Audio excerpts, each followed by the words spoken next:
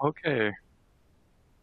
Hello and welcome to the uh, Golden Gate webinar. First of all, I want to make sure that we don't have any technical problems and therefore uh, uh, it would be nice if someone has technical problems, uh, just write it in the group chat. There's a group chat down there where you can click on it and uh, the group chat is used for all the technical problems during this webinar. So just tell us if there are any technical problems.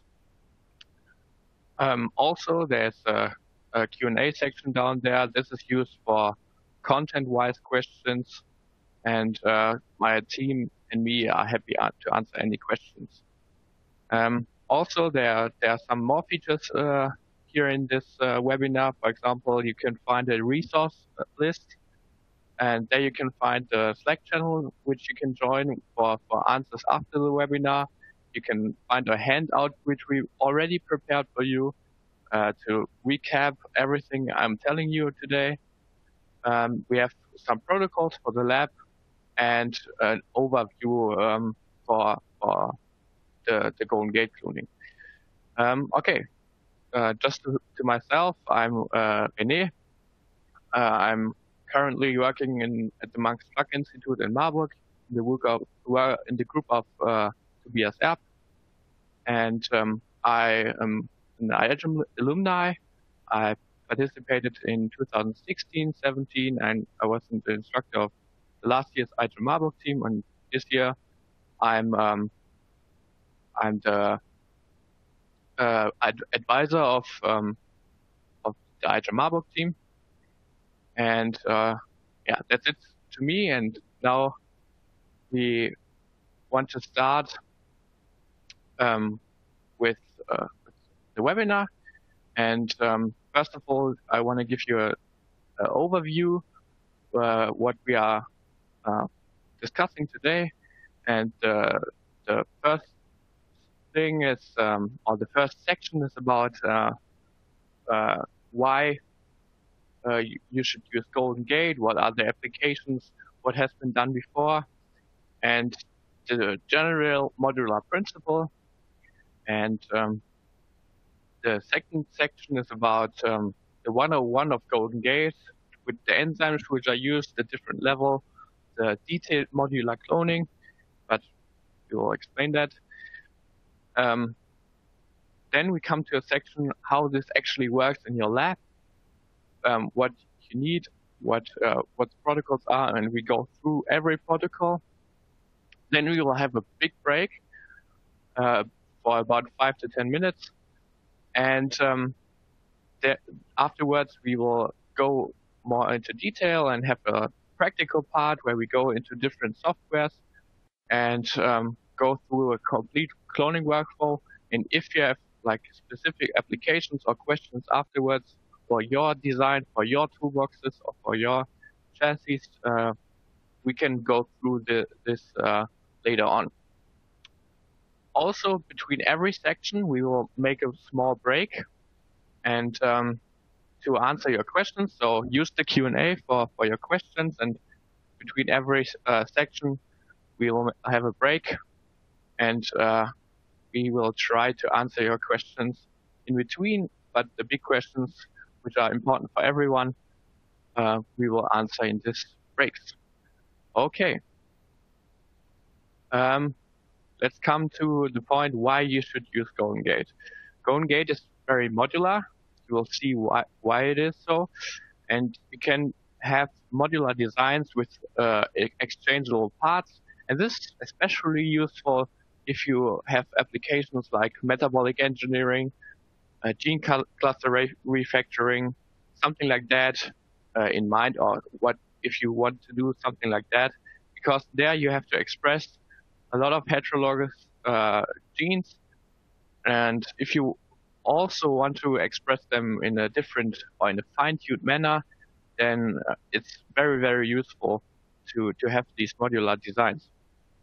The advantages, advantages of these, these methods is that you can uh, clone up to 24 parts in a one-part reaction. And uh, what a one-part reaction is, uh, we will explain later. And also, uh, you can avoid sequencing for for all the constructs if the basic parts are sequenced. So um, this saves you a lot of time. This saves you a lot of money. And the same is, uh, is true for, for primers. So if you have your parts in your library, then you, that, then there's no need to order every time new primers for your, for new designs. For example, if you want to adjust the expression. Also, the, the method is, uh, can, is very uh, applicable for high throughput applications. And um, um, uh, this also means that um, uh, you can automate the whole process of um, of Golden Gate uh, to uh, cloning, and we'll also have a slide on that um, later on. Okay. So what has been done before? The most important paper here is uh, like the first one uh, from Weber and Ma Mayonnaise from 2011, but at that time, it was not very famous or very, uh, very much used in other labs because it was quite complicated and uh, people didn't understand it from the beginning. And um, yeah, it was based on many, many vectors, and uh, the toolkit was very, very large. And um, in the beginning, it needed time to be adapted. And then the people made new toolboxes out of it, and uh, today you can find uh, a Mocklo or a Golden Gate-based toolbox for every organism uh, you can think of, and uh, I want to mention just uh, some of them, uh, which you could all potentially also use in your project. and this, that's something I want to highlight especially. So the first toolbox of course, um, one of the most famous ones is the uh, E. coli toolbox, the EcoFlex, but there are also some, some more for E. coli where you can assemble uh, pathways or uh, uh different protein expression, different expression level with different promoters, different RBS. And um, all these parts which are in this toolkit are characterized so you exactly know what kind of expression you get from which part. And um, this is just one example, but um,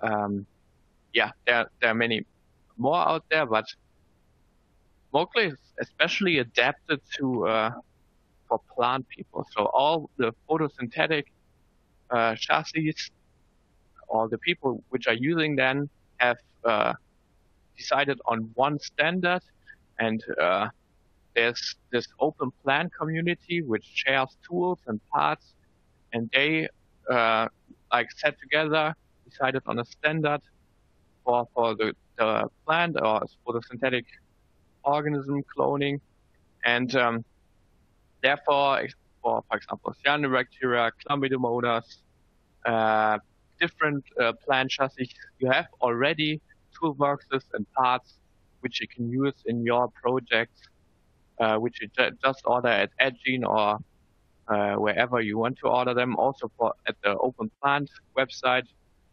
And uh, I think the, the plant people or the photosynthetic organism people are the, the best example of uh, standardizing uh, standardizing parts and using Mocklo. Another famous example is the, the yeast toolbox, and uh, this is especially useful for, for baker's yeast.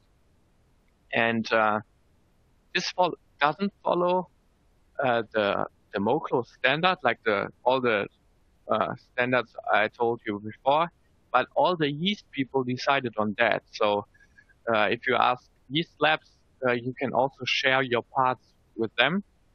And um, yeah, this this toolbox also contains many different promoters or terminators also Cas9 um, tools, and um, yeah, this this is very very helpful. I already worked with the with the yeast toolbox uh, in in some of my projects before, and um, from my experience, it's uh, very easy to to use and um, very useful. Okay. now, uh, this is like just an overview uh, for chassis, but of course there are many, many more. So you can find toolboxes for mammalian cells, for for Pichia, for Yarovia, for uh, a lot of uh, organisms, and uh, even mitochondria or yeast or, or uh, chloroplasts. Um, you can already find existing toolboxes for your projects. Um, now I want to come to a point which I want to mention a little bit, but I don't want to go into deeply deeply into it. And that is uh, that there are two types of, of this modular cloning. Uh, the one I already talked about uh, in all the toolboxes is the left one, which is the hierarchical cloning. So you're building up complexity of your constructs in every level, and I will explain that in more detail. And then you have like the iterative way of cloning that you're just adding one component in one cycle and then uh, uh, you repeat that process for for every part you want to add. So both have, have advantages. The right one, the, the iterative, the loop assembly, has the advantage that it's very, very easy to adapt. You don't you just need a few plasmids to, to adapt it. But the disadvantage is that you every time for adding new part you need a um, yeah a, a, whole cloning cycle. The right one is more complex. You need more knowledge. You need uh, more parts or, or vectors before, but therefore you can build up uh, complex multi-gene plasmids uh, in a few steps. And um, yeah, for the rest of the presentation, I'm focusing more on the on the left on the left part. But if you have questions on the right part, part then just tell me, and um, I would. I'm. I hope I can answer your questions. Okay. So, just the the the basic principle or the uh, the the way how the people think of Moklo. So it's not based on this classical vector insert thinking. So many people in biology think like that, and it's hard to uh, convince people which are using that uh, for for years, and um, uh, you have to like get used to to that uh, thinking. But uh, yeah, we think in in modular cloning or in in Golden Gate, we think in in parts uh, which are called level zero and uh, level zero part is, for example, a promoter, a RBS, a terminator. So you divide the, the, the original plasmid in many, many small parts, which which uh, are composed of one functional element. And they are stored in one standardized backbone, and we will come to that later. But uh, this backbone, uh, yeah, it's also uh, the, the people decided on that backbone to have like a standardized backbone for, for all the genetic parts they want to store.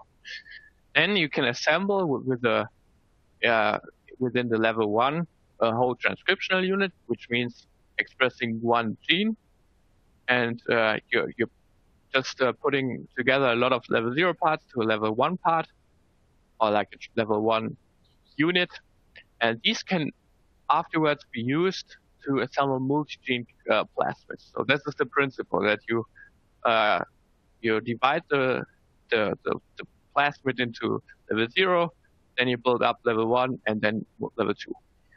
And um, but uh, don't worry, we will explain that uh, a lot in this in this webinar. Okay, so now uh, it's time for the the first break. Uh, just post uh, some questions if, into into the Q&A. I will wait perhaps a minute or something like that uh, to answer your questions. And if not, I will just continue.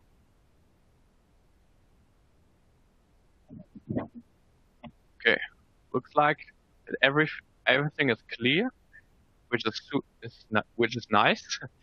okay, the next section is the 101 of uh, modular cloning, and uh, the the, the most important part is to understand the restriction enzymes. So most of the restriction enzymes you are used to, if you haven't used Golden Gate before, are type 2 enzymes. What does this mean? So restriction enzymes have a, uh, a recognition site, and the, the, classical type 2 enzymes, they bind at their recognition site and they cut inside the recognition site. For example, at EcoR1, one of the BioBreak enzymes. And um, therefore, they create this sticky end, and you can use that for the classical vector insert uh, cloning. So now this is a very uh, important point. Um, we come to the to to the, the, the enzymes we are using in Golden Gate. So these are type 2S enzymes. And the difference is that they have a recognition site where they bind, but they cut, cut outside uh, of their recognition sequences, which you can see on this picture here. So binding at the recognition site and cutting outside, uh, no matter, or it doesn't matter what the base pairs are at these, um, uh, what these base pairs are where the enzyme cuts. So you can decide or design uh, the, these four N base pairs for your cloning assembly. And this is very crucial. So binding recognition site, cutting site outside. And this is true for BSA1, uh, which is uh, the most famous Golden Gate enzyme, but you are, uh, you are also using different different ones, and we come to that later. But another Golden Gate enzyme is the BSMB one, and they just differ in one base pair. Also the same principle, recognition site and um, cutting site. Okay. okay. So um, what what is the application of that, or what what can you or what can you use that that uh, that property of this enzyme? Just imagine you have a part, and um, if you have a recognition site uh, next to it and you cut it, then one way of, of cutting is that um, the recognition site of the enzyme is gone after you cut with the enzymes. And this is very important to understand for this, uh, for this cloning method. So after cutting and ligating, the recognition site, as you can see here on the picture, is gone if the recognition site is placed outside of the part. So, um, and this is then be used to standardize these, these four N base pairs uh, for every part you want to uh, combine. And uh, for sure that you can also invert this, uh, this um, recognition site, um, but this is not so many times used in, in this Golden Gate uh, assembly, but I just want to mention it because we will use that later on. And for example, if you invert this recognition site and put it next to the part, then you can cut like to the left side and then the recognition side is still sticking to the part. This is not the, the common case and not uh, used for the standard Golden Gate, but you can use that for special application, which we'll explain uh, uh, later on what these special applications are. Okay, so this is the important part. I hope you you can follow me on on this explanation. If not, just ask in the Q and A. Um, okay, what what can you use uh, this uh, the special cutting properties for? You have uh, people decided on standardized four base pairs for every part, uh, and here you can just see like an overview what the people decided for the plant uh, plant, plant assembly and for example, in the beginning of um, of the coding region, you have something.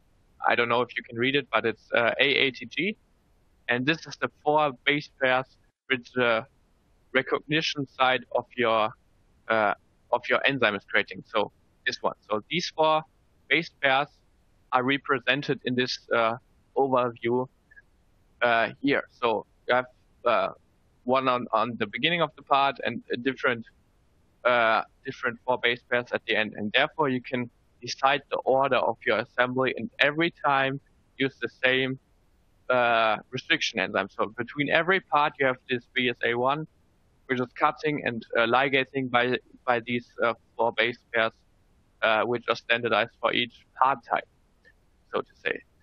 So this is very modular and you can exchange parts very, very easily and you can uh, exchange parts with other groups, which is very, very useful if you have a library. And um, it's kind of the same thinking than the, the Firebrick uh, registry. Um, just one uh, quick comment. So you can also see this M1, M2, M3. So this is are just uh, fusion sites which the last year's IGEM Marburg team uh, added to that standard. So the usual standard is from A1 to uh, C, C1, and we added the M1, M2, M3, and I will explain why we did that later on. And that, on that uh, uh, standardized recognition sites, people build up toolboxes.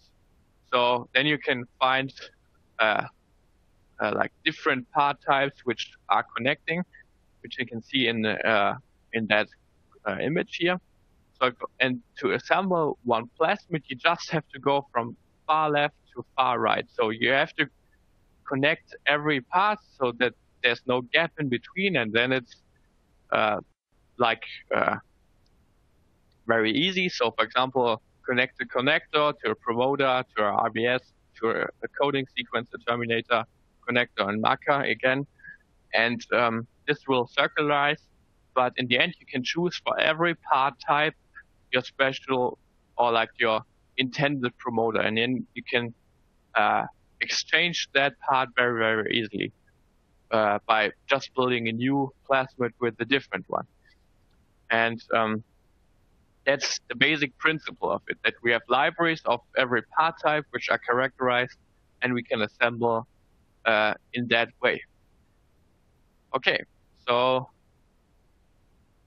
uh, now just a little more details uh, on each level. So we have the level zero, which are the basic, the basic parts. And uh, this means, for example, a promoter, something like that and we have them in that universal acceptor vector, which I uh, explained in the beginning. And the, the vector has some uh, properties uh, which the people decided on uh, for, for, for this basic part acceptor vector. And this is that you have uh, Clomp Finical resistance. So every level zero part has um, Clomp Finical resistance in most of the toolboxes. So there there are some out there which have uh, different ones, but a lot of have a lot of have Clomp Finical. And uh, there's the high copy ORI, and then the, you can see this uh, super folder GFP, and this is an expression unit for E. coli.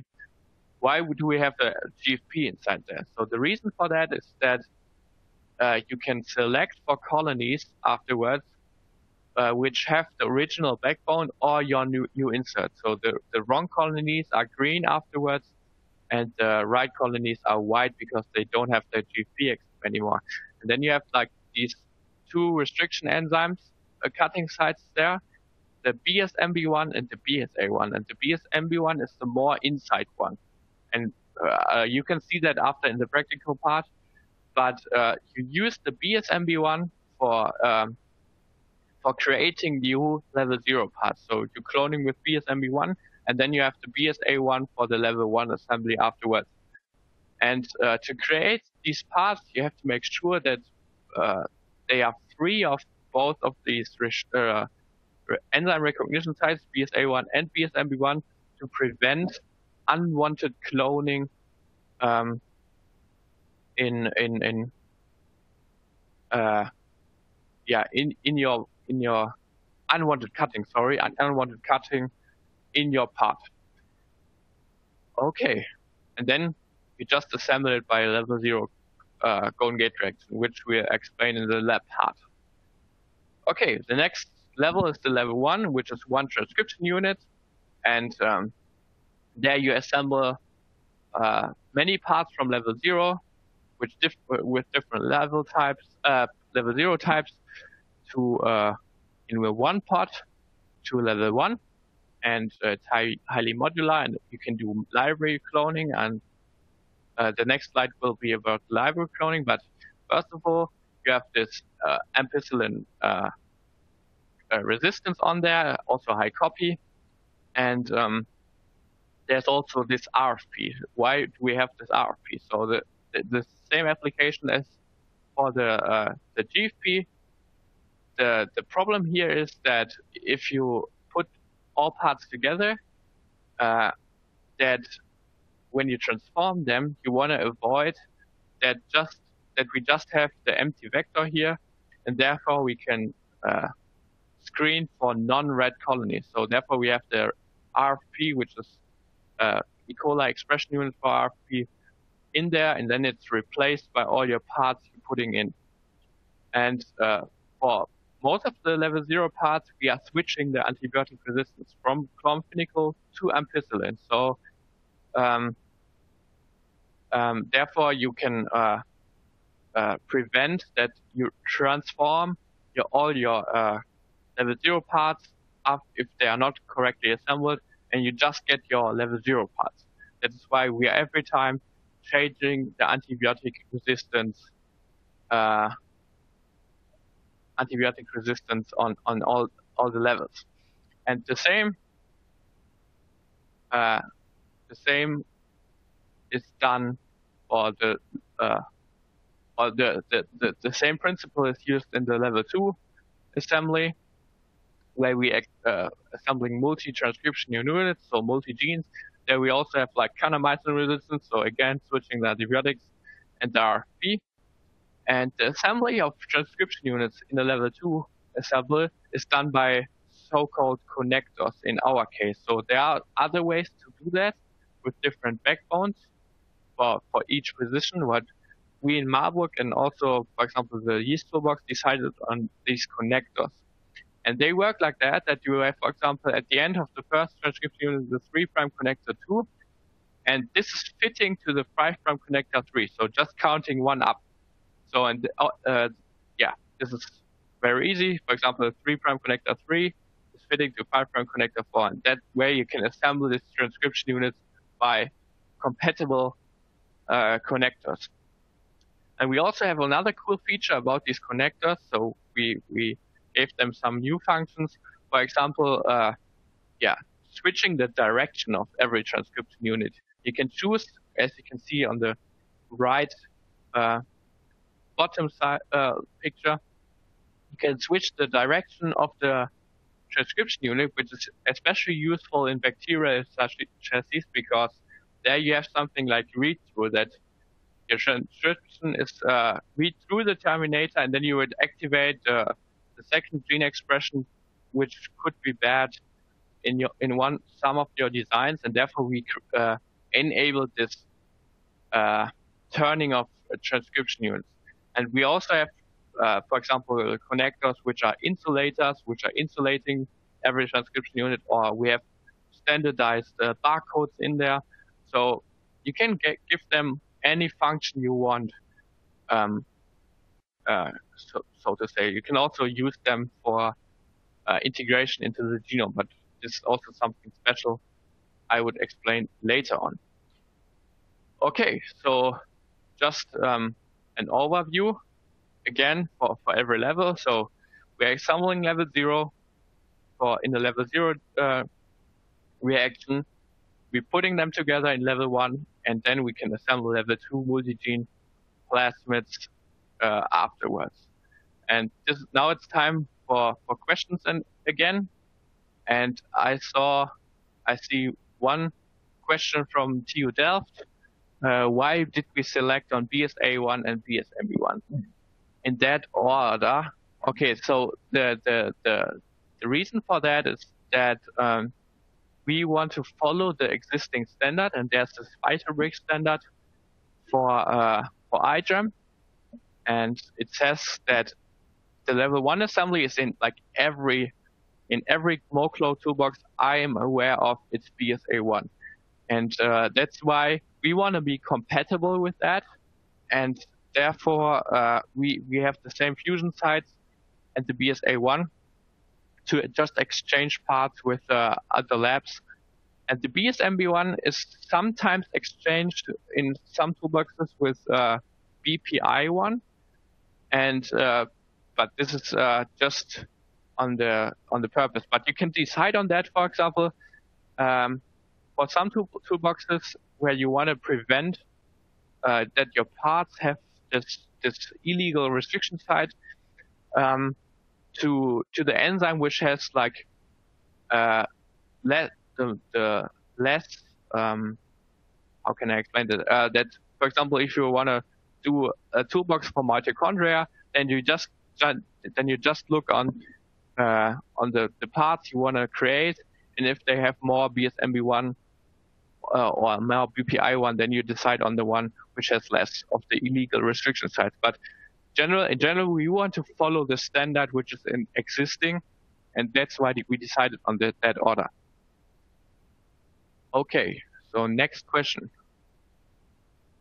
Uh, what are the insulator connectors? Okay, so uh, the, the idea between the insulator connectors was that uh, we saw a lot of uh, read-through uh, uh, through the through the transcription units, and what we did is we used the software which can create um, a neutral DNA, which is not expressing or have an effect on uh, gene expression, and that was quite hard actually in the end to get this neutral DNA. And then we put uh, two connectors in front, one in front, one in, uh, in in the end of this neutral DNA, and then we have something like space and something which is stopping transcription again. And then we tested them in, in Vibrio last year and also in coli afterwards.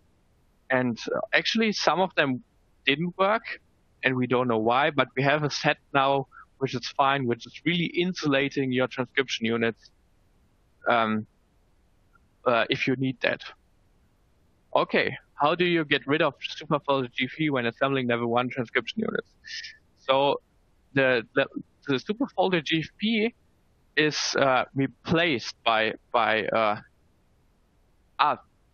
why do we level for level one there is no uh, GFP anymore. So for level zero you have this GFP.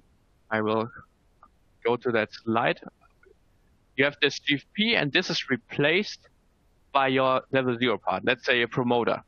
And for the level one, you have this RFP and you replace that by, for example, promoter, RBS, and um, uh, all the parts you want to assemble. And if everything is assembled correct, the RFP is automatically gone after your assembly, so you don't have to get rid of it.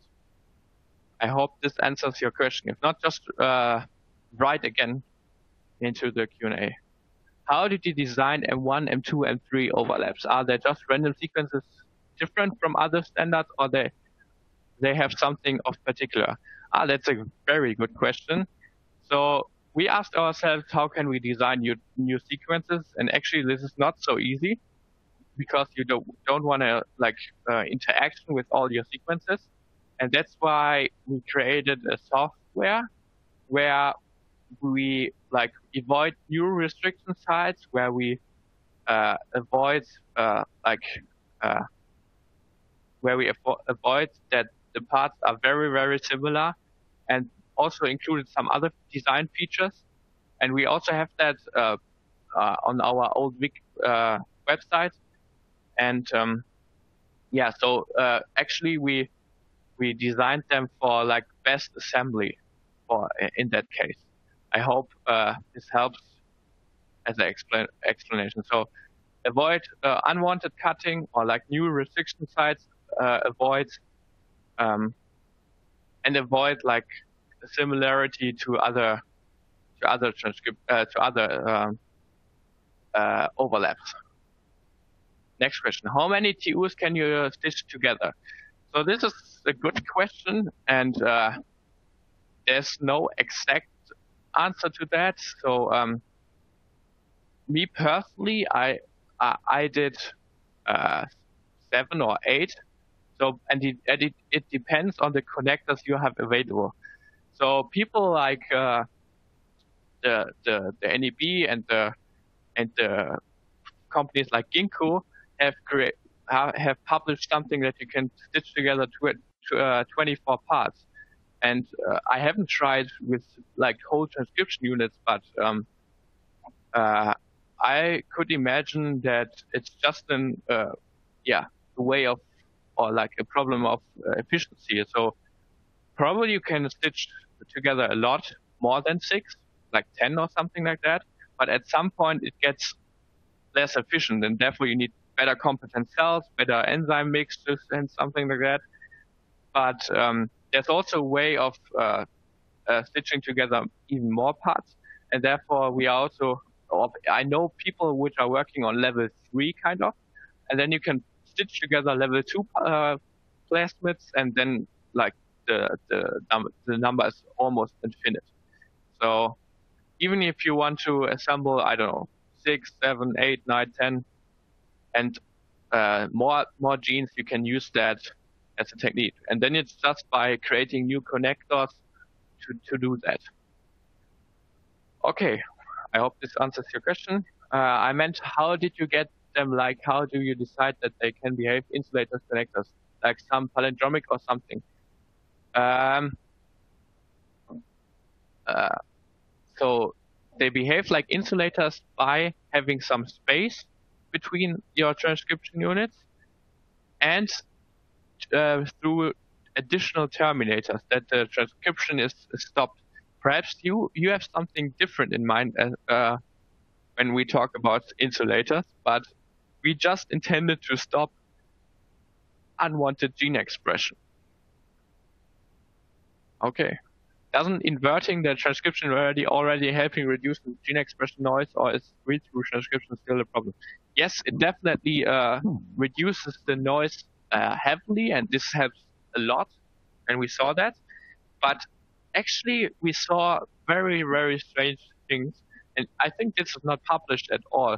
That uh, if you stitch together, for example, five um, transcription units, that you have like at one position, like the expression is very, very low, and, and at one and another position is very, very high. And um, yeah, you can uh, like tinker around with all the elements and all the tools we have to get to your results. So you're right, you're reducing it, but perhaps the applications where you need uh, this specific insulators. And for us, it helped a lot for some applications to have them. Okay. Is there any uh, more question? Okay, I guess this is this is fine, right? Then we would uh, continue with the lab part, uh, which is not too long, but um, uh, let's get started. Uh, so the golden gate in your lab, how does it work actually uh, in your hands? So what people are most of the times confused about that they are really just pipetting level zero plasmids together. That's not something you're used to. Usually you are doing something like uh, digesting, putting something on a, a electrophoresis gel and cutting out and something like that, and you are not doing something like that at all. So you're pipetting together all your level zero parts in one pot. You're adding uh, a buffer, which is a T4 ligase buffer in most of the cases. You're adding uh, your specific uh, restriction enzyme, for example, BSA1 or BSMB1, and the T4 ligase or T7 ligase. So there are advantages for both ligases but um, yeah, I could explain it, but uh, it's not so important for now. And then you're putting, so you're putting all this together, and then you put it into this thermocycler. And there are different protocols out there, and it depends on on your application and on your on how many parts you want to assemble. And we have provided you with a list of different protocols in the in the uh, resource list here. So just check it out. Um, what most people are doing is just an overnight uh, reaction that you uh, like start the thermocycler in the evening and just have it done in the morning uh, for really high complex um, uh, uh, high complex assemblies. So let's get through uh, let's get through this uh, thermocycler protocol what each temperature means, that you can understand the the importance of that. So step one is 37 degrees for two minutes, which is the optimal temperature for the restriction enzyme. There, the restriction, restriction enzyme cuts all your level zero parts. Then you have step two at 16 degrees, which is useful for the, or which is the, the, the step for the ligase, just five minutes. And there the ligase has uh, the optimal temperature to work. And you're cycling this, uh, this, this part up to 50 times. So you can reduce that to 24 times, uh, 25 times, of course. But for 50 times, you increase the efficiency because every time you uh, cut and ligate, the uh, after correct assembly, the recognition site is gone. So it's just a statistical effect that you increase your chance that you have the right construct assembled.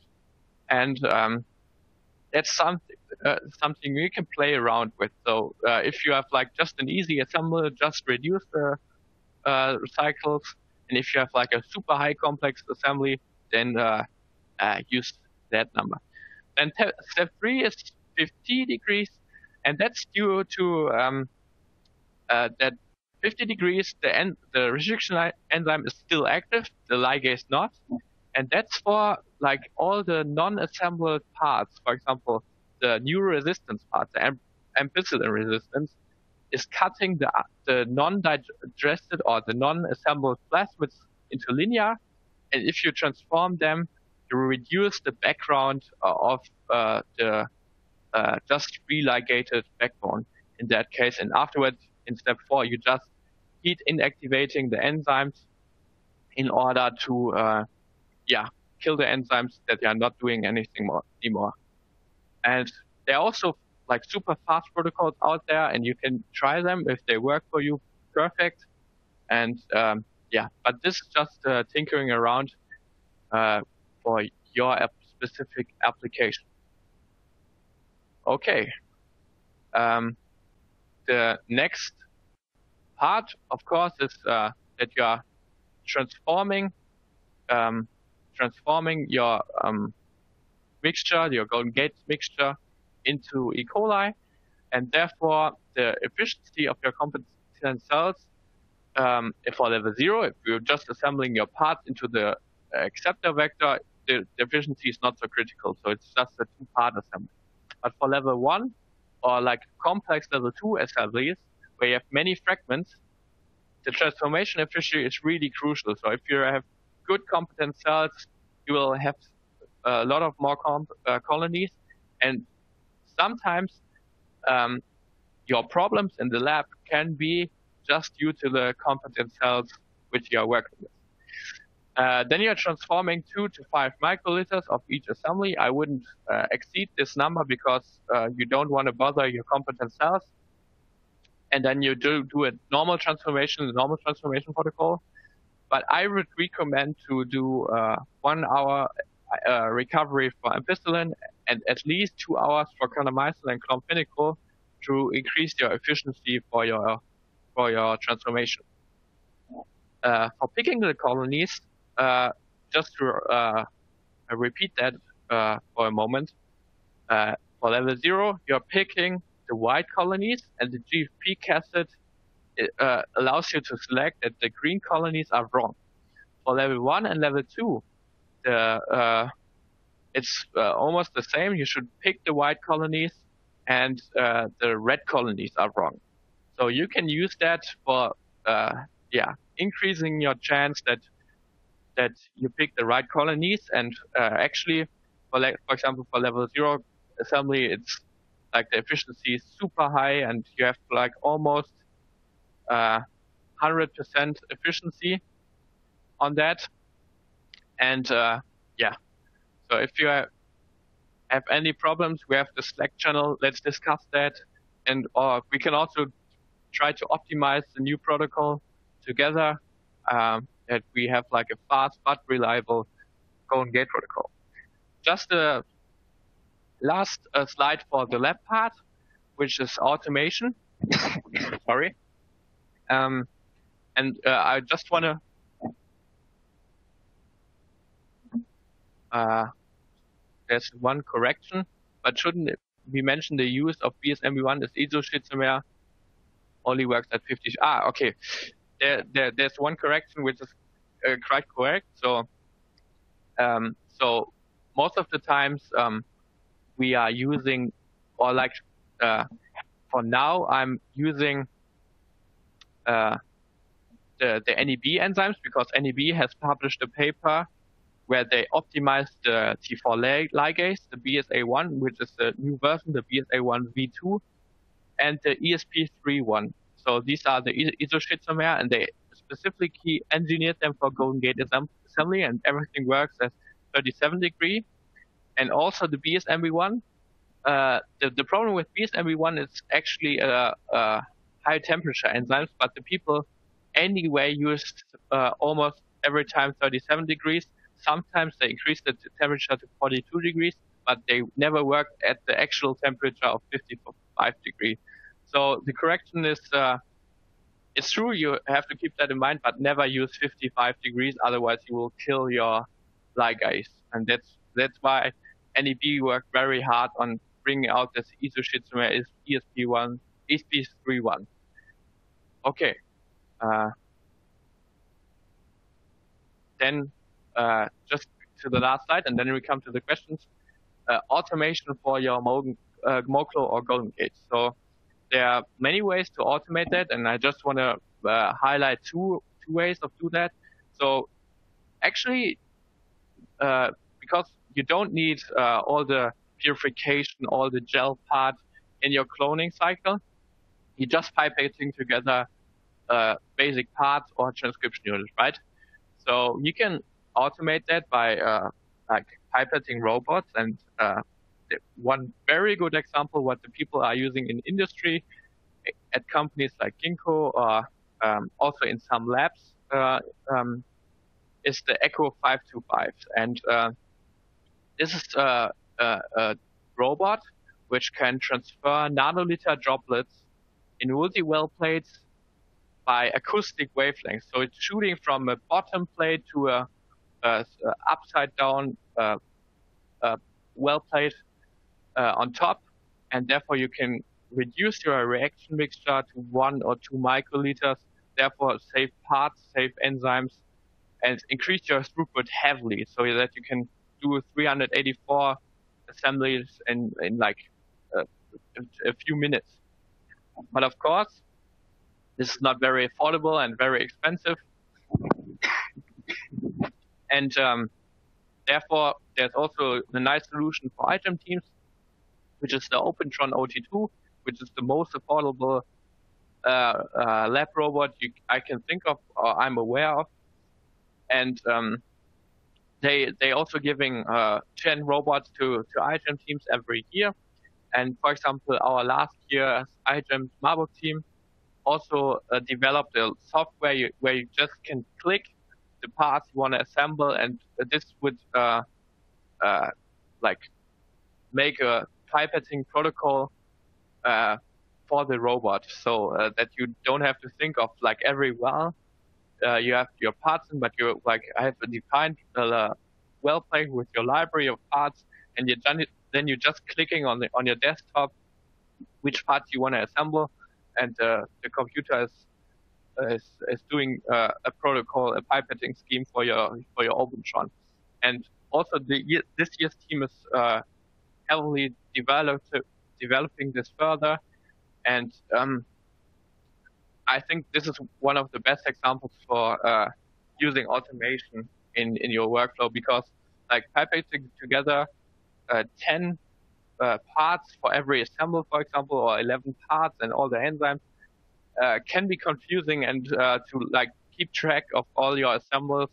It's easier uh, that a robot is doing that if you can afford it okay, for now, this is, uh, I would come back to, to all the questions and uh, let's see what we have here. Uh,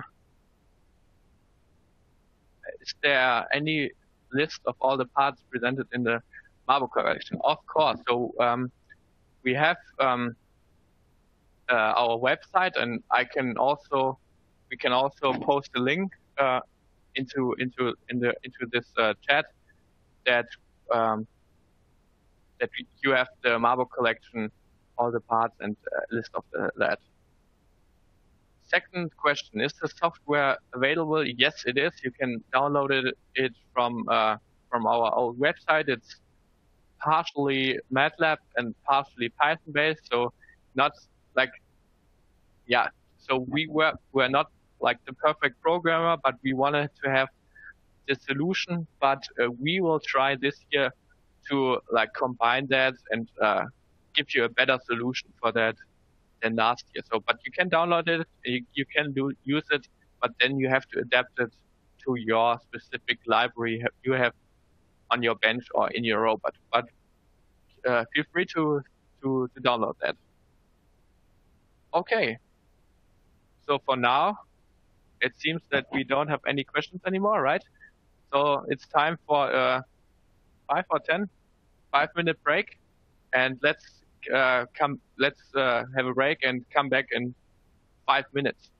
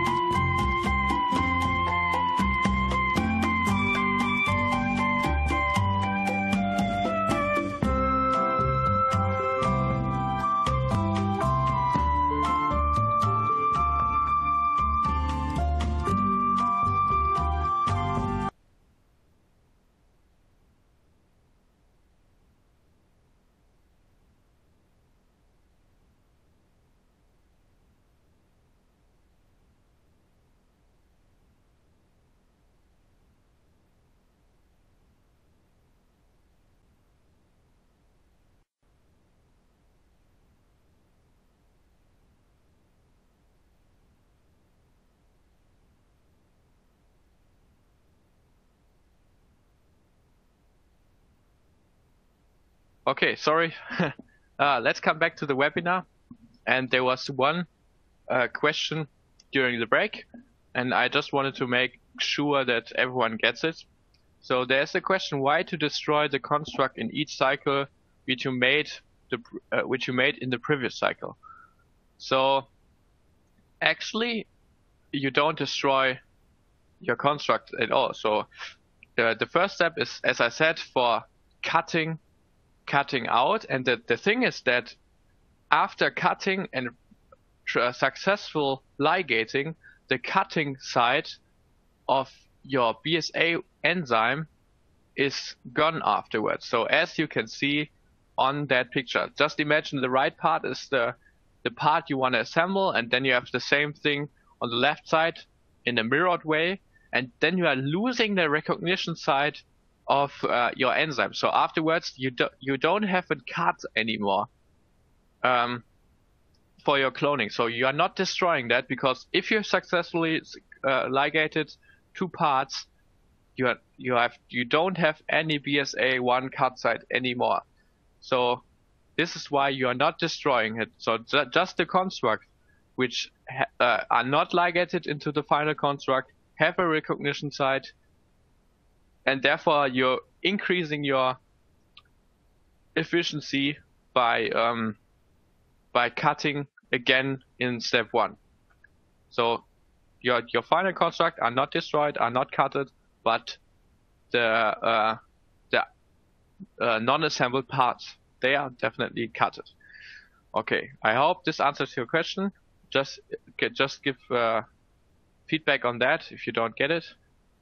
And um, yeah. Um, now I want to come to the practical part, and uh, therefore I would like to uh, uh, share my screen with you. I hope this works. So uh, in uh, in the beginning I will just use uh, Genius, but I will also ah there's a question. Okay, sorry, sorry. But what what about the inverting or keeping the recognition side?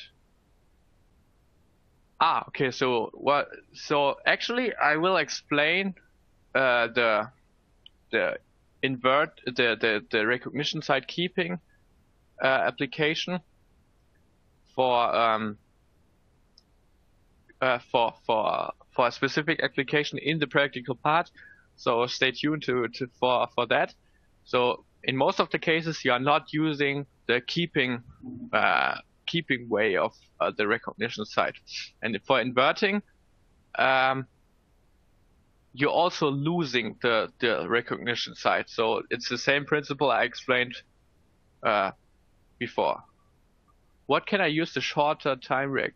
Use the shorter time reaction. Ah, um, you, you can use the shorter time reaction for, uh, for example, level zero parts because there you have just a, uh, uh, two two part assembly, or if you have a level one assembly, which is uh, not composed of 10 parts or something like that. I also use the shorter time already for uh, I don't know, for example, eight parts, but this doesn't work every time. So then your efficiency is decreased, but this could work for you in in some cases. So just try out and uh, yeah, if this works for you.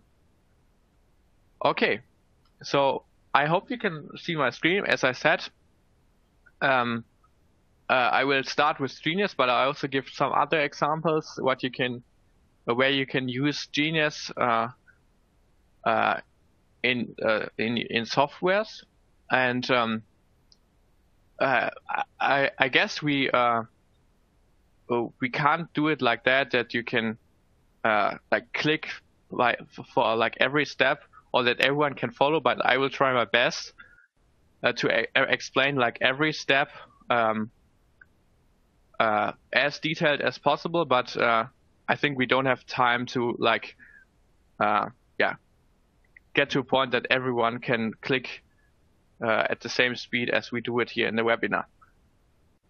The stuff, but uh, you can also just follow my ex- explanation and, and, and, try it afterwards, and then we will help you by the Slack channel if you have any problems uh, uh, with that. So you can use, uh, for example, the Genius trial version for 14 days or like other software I will explain later on uh, to uh, try the same thing I'm explaining here. So you can try to follow, but perhaps it's a little bit too fast because you don't know the software well. And uh, but just try to to get or grab as much as possible. So first of all, I'm here in Genius and uh, I have my different Golden Gate level zero parts here. And um, just to uh, to uh, explain you again uh, what we have, for example, uh, here I'm I have the plasmids of the yeast toolbox, and for example, here you can see the the promoter. The green part is the promoter, and to explain it on the on the sequence level again, uh, just briefly. So then you can see that we we have the uh, that, that we have the BSA1 cutting site uh, next to the part, and the, this part is the recognition site of the BSA1, and it cuts with the offset of one and creates this sticky end, and then you can, assemble, for example, the promoter to the, the part on the left side next to it by having the same uh, four base per overhang. And this is done um, for uh, all the uh, for all the assemblies. Uh, I just have to make a quick thing which you don't have to uh, keep track of, but I need it for for like faster uh, faster way of working here. Um, so as I said, you don't need that. Um, okay, so now the software can also show us, okay, BSA1 is cutting here, and um, it will cut in that way. So in most of the softwares I'm aware of for assembling uh, assembling parts, and this is not just uh, advertisement for for this software, but uh, just to show you that it can be very easily. Uh, usually you would think of, okay, I have to digest all the parts and ligate them together so that we can uh, stick them together in a level one assembly. But actually, Genius has a nice solution for that, and you are just uh, uh like marking every part, and then it you have the function cloning up up there, and then there, it says Golden Gate Type 2S cloning. And if you click on that, you have like several options. If you want to use the backbone, and you can say no, and which enzyme you you you would like to use. And the the the first one is of course BSA1. And if you want to circularize the product, and we say yes because we have the plasmid at the end, and if every like uh, four base pair overhang is green, then uh, the, the assembly is correct. And if not, there's also the auto arrange function uh, on on the bottom left side, and then uh, Genius recognizes all the the uh, BSA uh, cutting sites and will uh, order them in the right order. And down there you can also use a primer function that it creates some primers, but we don't want to want we don't want that that one. And if we click on OK, just takes a second and it assembles us the, the whole level uh, one uh, plasmid in one click. So this is a huge advantage uh, compared to other cloning softwares I'm aware of. So um, just uh, in, in, silico assembly in a, in a second. So uh, that you can also use in, in, in your projects and in, in your toolboxes. You just have to create all your level zero parts and you can also uh, use that function for level zero, but we will go through the whole cloning cycle in a minute. Just a few comments. What you can also see is the, the Marble toolbox, uh, which I all, also um, put together for you to, to have them as files, uh, as plasmid files. And uh, the yeast toolbox, if people of you are working with yeast, uh, you can uh, buy that toolbox uh, at Edgene, and these are the, the plasmid files of it. Then we have a folder for the entry vector, which I talked about uh, before, and we will use that in uh, in a bit. And then I created already some folders for for the webinar now. And then there's a folder Marbot overhangs. So if you want to create a new uh, a new part, then you usually do it by PCR or DNA synthesis. And then you have to add the special overhangs. And uh, let's go to the, for example, the plant standard overhangs. And then uh, you have a number in the beginning, and this one says for which position you want to uh, create a new part. For example, promoter to promoter forward. Then you're adding this uh, overhang to your primer on the, in the forward primer on the left side. And for reverse, of course, you have to reverse complement that sequence by, for example, in this software, just uh, click on the right and uh, copy reverse complement. And then you can use that library of overhangs to just copy paste it to your primers to create this specific part by a PCR, for example. Uh, then you have a folder with at the left side uh, for advanced Golden Gate features, and this is just for for people who already used uh, Golden Gate, and perhaps we will come to that in the end if you are interested. But this is really like uh, advantage advantage um, stuff. But let's go through the basic stuff in the beginning. Okay, so there's a folder which says level zero, and um, if you click on that, uh, you have one plasmid inside there, which has a cherry, and I already made two primers, but actually it's just the binding part of your primer, so as you would design it for your construct. And as I explained before, you have to add the right overhangs to your primers. So uh, then I go to my overhangs and I already mark them with different colors, so for forward and reverse, because I want to create an M cherry, which is a coding region I add this to my primer, so just copy with the normal uh, Control uh, C, Control C, and then go to your primer again, put it in the beginning, and then the program asks you if we really want to edit uh, your your sequence, and you allow that, and then you have uh, your your overhang in the beginning, and you, you just save that and then you go to the to the overhangs again and do that for the reverse uh, for the reverse primer by clicking with right copy reverse complement and add it to your reverse primer. I hope I did it right now. It uh, just to make sure copy reverse complement and uh, paste. I hope you could follow. I'm just trying something if I did, did right. Yeah. Okay. Now you have your primers and you have your template and you can use that in, in this software to uh, do an in silico PCR. So let's go to the plasmid uh, on top of it and go to primers to on top of it in the toolbar and test with safe primers. There's one option and then you it asks which primer should I use, and uh, then you have to go to the right folder where we are, and say okay we want to use these both both primers by holding Control, and then you can just click on OK, and it tries to uh, find the primers on your contract, and found it. In my case, and I also hope uh, that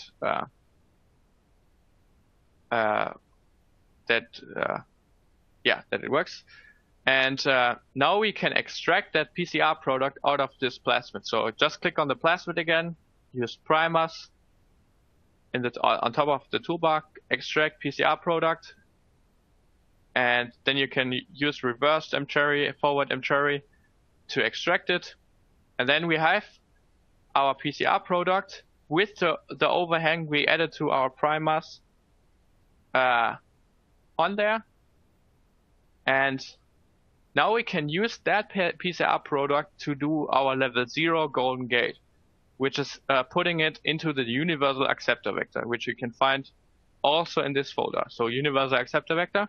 So you mark both the PCR product and the universal acceptor vector and use cloning golden gate reaction. And this time we have to switch the enzyme between BSA1 to BSMB1. And now,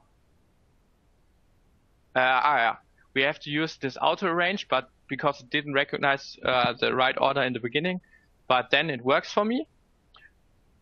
And this is the way of doing a level zero. So if you click on OK, we have um, our level zero plasmid assembled. We have the mcherry in our universal acceptor vector, and we have our created our first part. I'm just renaming it by clicking with the right edit name and say level uh, zero mcherry, whatever you want. Okay. Um, now we have a part, but actually we want to also assemble a transcription unit. So just uh, drag and drop, drop it to, to the level 1.1 folder, which I created on the left side.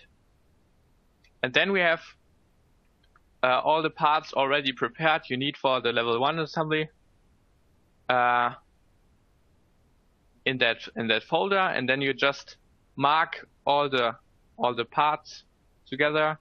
Use the function cloning, golden gate, and uh, now we have to select BSA1 again because we are doing a, level 1 assembly. And then it recognizes every uh, recognition site, which is right, which looks perfect. And then if you click on OK, it just assembles you the level 1 uh, your level 1 plasmid with your mcherry as a level 0 part in there, as you can see it here. So just rename it to, to, avoid confusion level 1.1.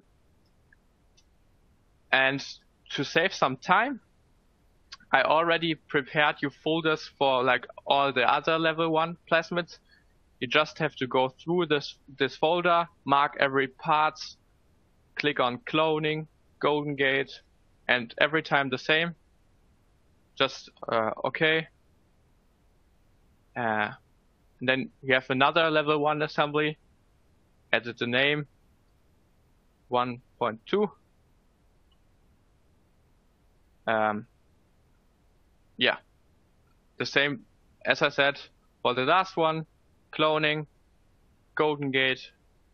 Again, everything is right, the right order.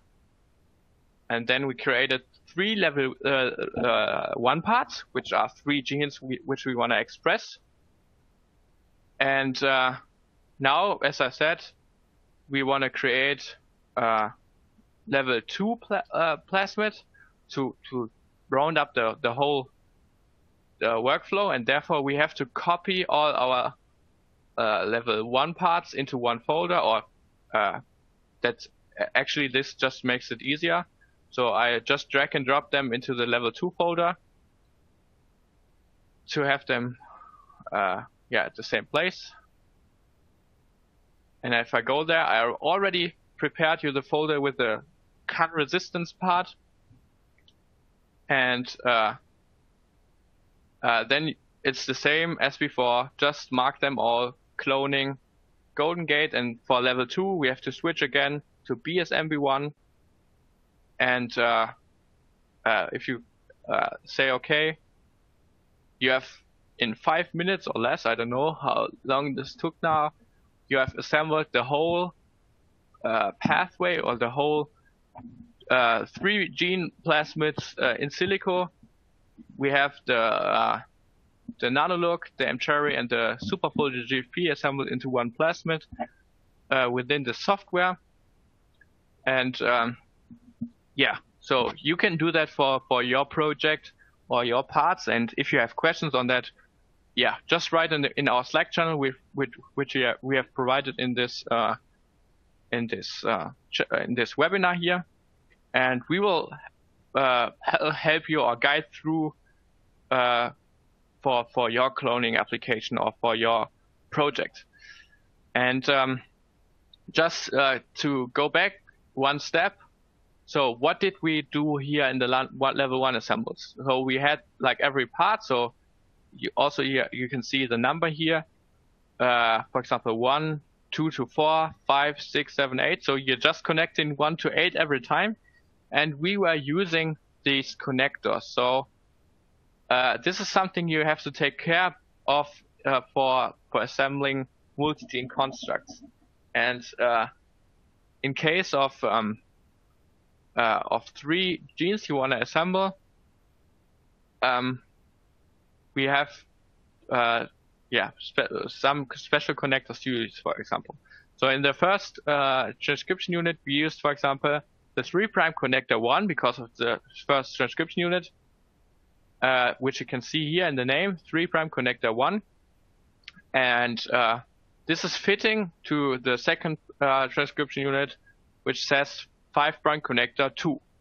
So these parts, these connectors stitched together by the specific recognition site which we are creating by the BSMB1 in our connector. So the BSMB1 is in our connectors and creates the specific level 2 fusion sites afterwards to connect uh, several transcription units. And uh, if someone has the question uh, how this works um, or how do, do we decide on that, uh, we cho chose the same fusion sites as in level 1 because it doesn't matter because we already lost the cutting side. So, but now there are some questions I saw. And why is the marble collection using B1 as part of the promoter and not the original A2, A, A1, A2, A3? Uh, okay, so um, again, this is uh, uh, I know what you mean. So if I go back to uh, to a slide where it shows that, perhaps I can push that to you as, as a slide. Um, for promoters, we are actually using A1 to A3. I don't know if we have like a mistake in one of our slides. I hope not but we are using the standard A1 to A3. So sorry for, for some confusion if there's some uh, wrong slide or uh, wrong image, but we are keeping the standard and using exactly the, those fusion sites.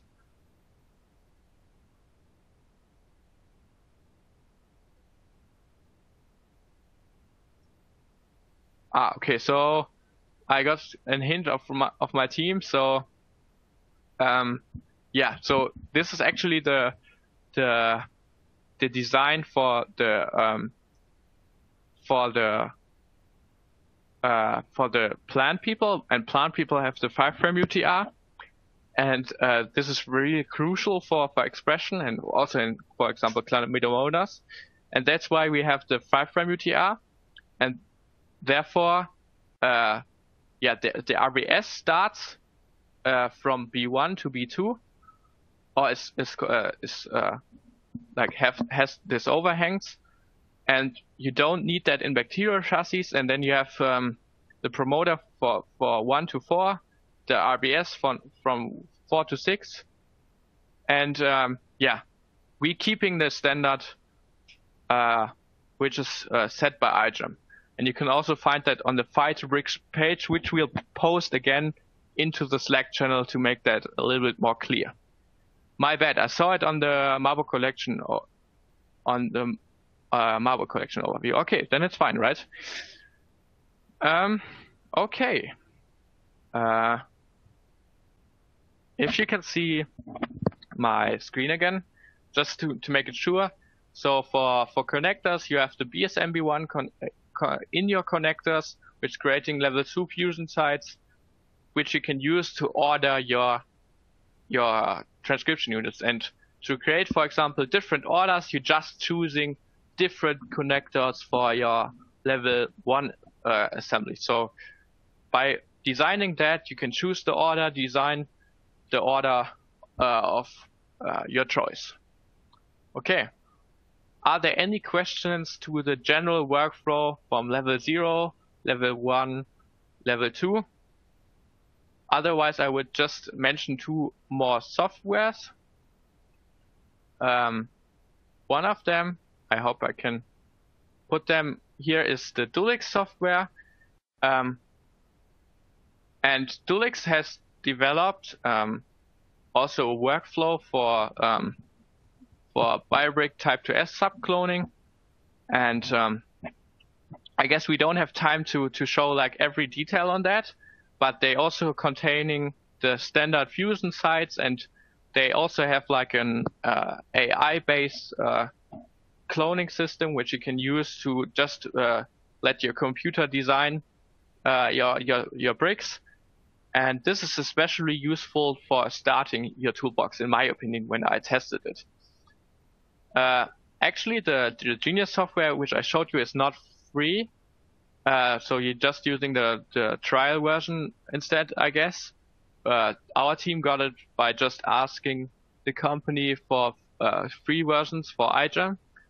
And uh, therefore, I want to mention one other software, which is the the Benchling. Benchling is a company origin from uh, from iGEM, and um, uh, it also has uh, assembly wizard uh, function where you can choose the golden gate and uh, then you can create an uh, uh, assembly also. And this benchling software as I hopefully said is also uh, free for especially for iGEM people. And um, yeah you can use that to have like an online cloning program software for your project. But actually to be honest, my opinion is that the, the, the assembly of parts is not super optimal because you, you have the, you have to stitch together part by part for, for benchling in my, as, as I, as far as I know. So perhaps there's a better solution for that, but I haven't found it yet. So this are, so for sure you can also use, I don't know, other uh, cloning software and it probably also works. So I'm not saying these uh, three softwares are the only ones which you can use for the Golden Gate assembly. You can also use SnapGene or whatever you have in your team.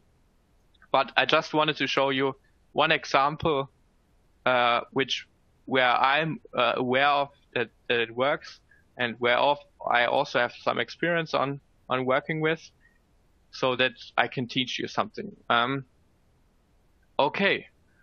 Um, if you want, we can go through the advanced stuff, but uh, don't, uh, yeah, don't. Uh, it's not too bad if you don't get like every point of it because it's quite harsh. And I've collected some uh, some advanced stuff. Uh, perhaps I just uh, give you an overview. So first of all, the one of the special applications I mentioned are the space holders. And there, what we did there, and that's a, that's kind of a special part of uh, iGEM Marburg. Uh, we created parts which have um, an inverted um, recognition site. And why do we do that? So the idea is to uh, to to have a part which we can cut out afterwards after after our uh, assembly. For example, having a space holder, so so we call them, um, at the coding region uh, for your gene, putting the space holder, which is a GFP expression unit, in the beginning, to to uh, uh screen for them, and this uh, space holder uh, or this expression unit has an inverted BSA1 side, and it cuts outside, which you can see here, and then if you assemble it, uh, you can cut out the GFP expression unit as it is done, for example, in your entry vector. So it's the same principle as in your entry vector, but here we are doing that after an assembly. So for example, you want to screen a promoter library or a, library of, I don't know, uh, RNA based uh, or like special promoters, whatever you want and you don't want to assemble every time uh, like the whole transcription unit. Then you just put a space holder in that position, and we already created them for every position in our team. And then you can replace that in a second cloning cycle by using BSA1 again and uh, screening for the non-green colonies afterwards. And the only thing you have to uh, uh, be careful with, you ca- don't uh, in most of the programs I know you can't use the normal golden gate function because the, the, the program says okay no that that's wrong. You can't do that in in that case because you have an inverted uh, recognition side therefore you have to do it in a classical way by just uh, cutting and ligating all the, the parts together. And just an example I I have already prepared the digested parts and just uh, say uh, ligate sequences and uh, then um, then you can also assemble it by your program. And then you have something like for example in my case I have promoter set and then I have the the GFP expression space holder and then terminator and so on. So I can replace that J space holder afterwards for my specific application Something completely new, which hasn't been done by any toolbox before, are the operon connectors. I don't want to uh, go into detail, but what we did here is uh, that we are extending the connectors by the promoter position, for example, and the terminator uh, position. And therefore, we can skip promoters and connect, uh, terminators. And therefore, we can build the classical bacterial operons. And uh, then you can have, for example, in your first transcription unit promoter, but skip the terminator. In the second transcription unit, skip the promoter, and uh, whatever you want, uh, keep the terminator, and therefore uh, do like multi-cistron expression elements within the Golden Gate framework. So that's something new we will uh, put on our wiki on this year uh, in the uh, iGEM Marburg. Okay. Um, something which is a little bit uh, not so easy is if you want to create new um, connectors, because the problem is a connector has a BSMB1 cut site, right? And if you want to create new connectors, the problem is that for the assembly of level zero, you also need BSMB1. So you would cut off the BSMB1 in your connector. And we came up with a solution where we, uh, which is a little bit hard to understand. Uh, perhaps you just draw it on a paper to understand it. Uh, that we put a BSA1 cut site out there, which creates the same four base pair recognition site as the entry vector with BSMB1. And then we can ligate them together, although we are cutting with two different enzymes and uh, that's the way we're preventing or like uh, uh, yeah preventing the BSMB1 cut site to be to be cutted uh, and we can keep it. Uh, if you have questions on that just answer in the slack channel. And the most ambitious part is uh, something like scarless golden gate or golden gate mutagenesis.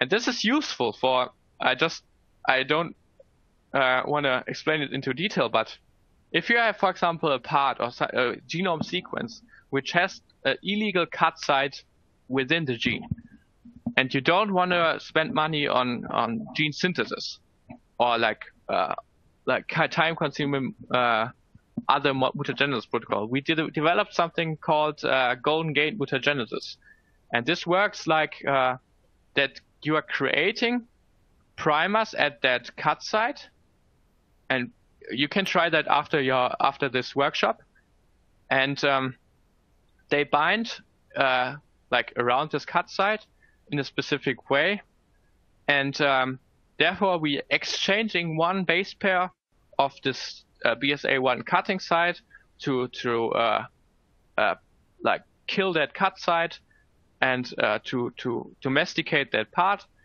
and you afterwards you just uh, pipetting together both PCR products um, together, which have a BSMB1 cut site at each primer, for example here, and then you are doing a level zero uh, um, uh, golden gate with uh, not just uh, this one insert, one ba- uh, backbone, but with uh, two PCR products which are uh, correcting or killing the the restriction site, or if you want to do a mutagenesis for an enzyme or something like that. But I guess this is better to understand uh, if you go uh, slowly into that, and you can try that with this example. So I created the primers for you in that folder, which are already done. So you just do the the the, the PCRs on that uh, template and put it with a golden gate reaction into the acceptor vector and you will see how this works. So this is a method which is very useful in, in some projects if you want to adapt your project or your parts into a golden gate toolbox. Okay, let's come back to some questions. There's one question. Uh, okay, sorry, couldn't get the golden gate mutagenesis part. Uh, yeah, so um, I can totally understand that. So this is quite harsh. So, um, yeah. So let's say you wanna uh, have that part as a level zero part in your acceptor vector, but you have this illegal BSA1 cut site which you wanna uh, do a mutagenesis on, and you don't wanna uh, just uh, do the level zero uh, assembly and then muta- mutagenesis it but you can do that in one step by designing primers where you have like one base pair uh, different uh, to kill the cut site. And um, additionally, we're adding BSMB1 cut site to every primer for, for the mutagenesis in the beginning. And because the, the, the, the enzyme cut site is, uh, recognition site is cut off after the assembly, you you have a scarless assembly assembly of of your part. So as I said, I, I can also do it here just to show you. Um, so I did the PCRs and then extract PCR product, board primer rever reverse mutagenesis, uh, extract uh, primer base pairs, and also extract uh, the forward mutagenesis, reverse uh, reverse primer, and then we have uh, two uh, PCR products. And what you can see here is that we added BSMB1 in the middle of the gene, but we are doing a scarless assembly by having these four base pairs as uh, uh, as our assembly, which are already in the in the, for example, enzyme gene. By just exchanging one base pair for the BSA1 cut site, we kill the, the cut site, and then we can just combine them, the two PCRs and the acceptor vector, in a golden gate reaction. Um, and we will have our enzyme without any cut site, as you can see. So just try it on your own and um, uh, ask us in the Q&A, uh, not in the Q&A, in the Slack channel, and if we can also go through it uh, if you need some help for your own design uh, in the future. Are there any more questions?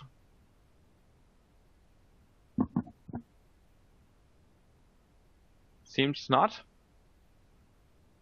Okay, so I guess uh, you will receive an email from my team uh, either today or tomorrow, and we will ask for your opinion or your feedback or some additional questions or something like that, and also uh, something we could improve, and just letting us know that we can improve it for the, the further webinars we are giving.